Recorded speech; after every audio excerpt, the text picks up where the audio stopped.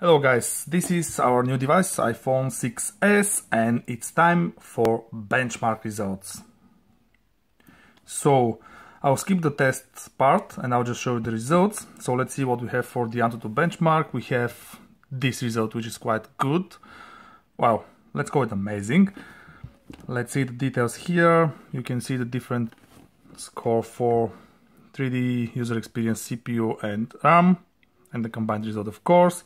Here's some info about the device. And yeah, as I said, iPhone 6s running 9.34, 12 megapixel camera, which is not really relevant to the benchmark results. This is the 16 gig version. Keep in mind that this device only has two cores.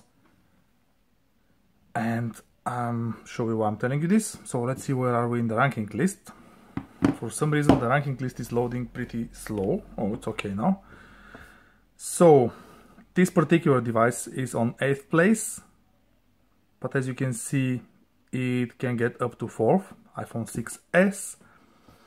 And this device, the, uh, the Samsung Galaxy S7 has 4 cores and 8 cores version I think, and that's why I just wanted to point out that this is only, only 2 cores, which is more than enough, because the software is built for the hardware. So pretty good result minus 8 it can get up to 4th place according to Antutu benchmark list and I'm pretty happy with it and I can confirm that this device runs really fast. The other result is I'm going to show is from the 3D Mark slingshot test. Um, do I have the results here? Yes, so my device scored 1850. I want to compare it with the best devices so not bad at all. What's this one two three four five six place here. Pretty good. In top 10 I'm pretty happy with it. And here is again a bit more information about the device itself. Memory 2 gigs and so on and so on so if you're all about the most powerful hardware, stop being that guy, because as you can see, this one is far from the most powerful, most powerful hardware.